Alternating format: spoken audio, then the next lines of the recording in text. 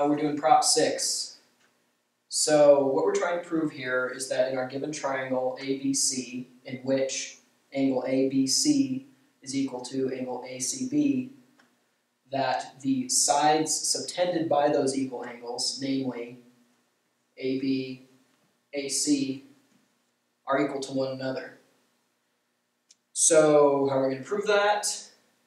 We're going to start by saying that they aren't equal. So first what we need to do is we need to cut off a bit of AB that we're going to say is actually equal to AC. We're going to call that DB.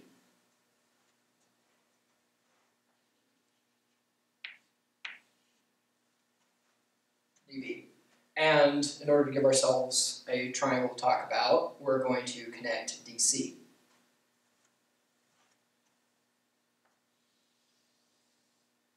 All right.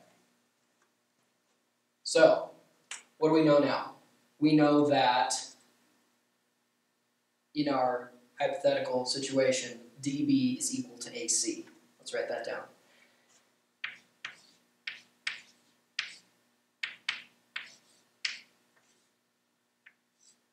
Okay. Because we know that, we can say that the sides DB, BC taken together are equal to the sides AC, CB taken together. Let's write that down.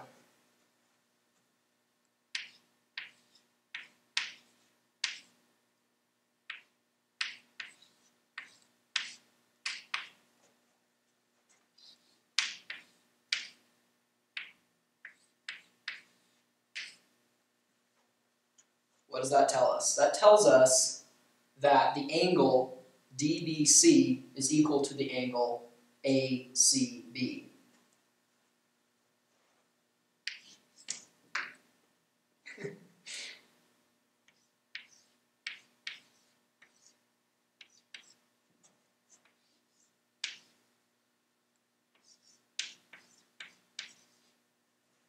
All right, so what does that mean? That means that the base DC is equal to the base AB.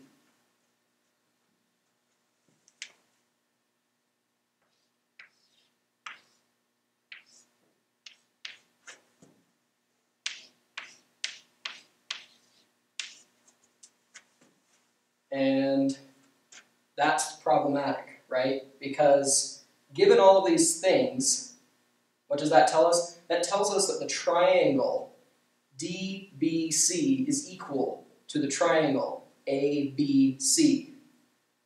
Those triangles are different sizes. One of them is smaller than the other one. That's bonkers.